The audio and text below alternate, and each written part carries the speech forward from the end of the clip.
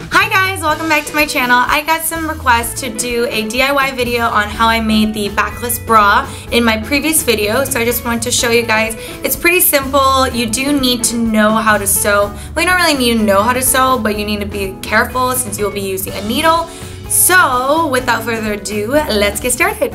For this tutorial, you will need a bra. I'm using a black bra that I don't really wear anymore, a pair of scissors, and thumbtacks, not thumbtacks, uh, sewing pins, I think that's what they're called, and a needle and a thread.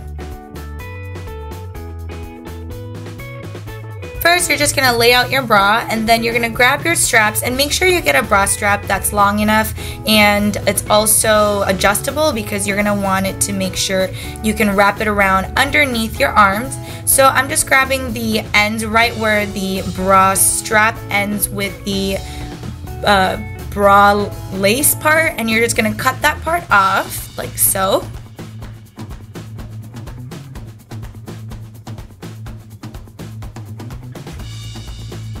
And then you're gonna grab the end of the other lace and then cut that part as well.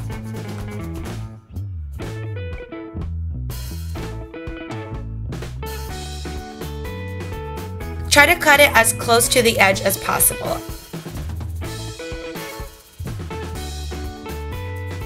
And then you'll be left with just the little lace part.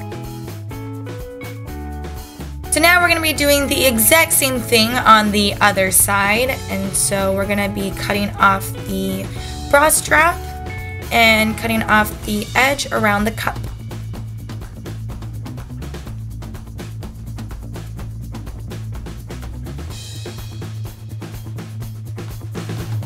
And then you'll be left with the bra cups and the straps and don't cut off the straps off the cups because we definitely need that part.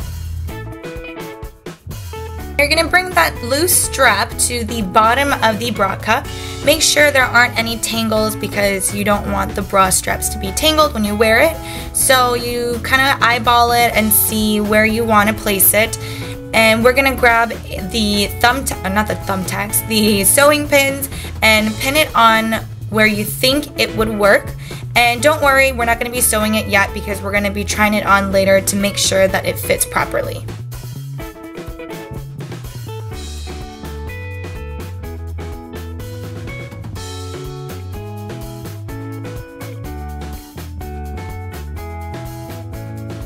Once you've done that, then you're gonna go ahead and try it on and just be careful because there are pins so you don't wanna poke yourself with it.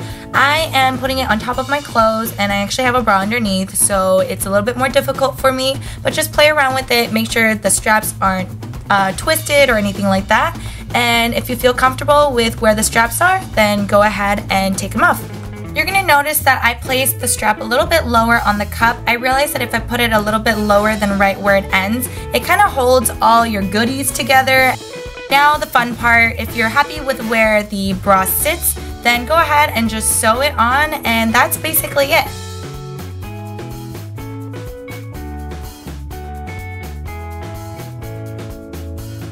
Now you have created your own DIY backless bra without spending a dime and you can go from this to this.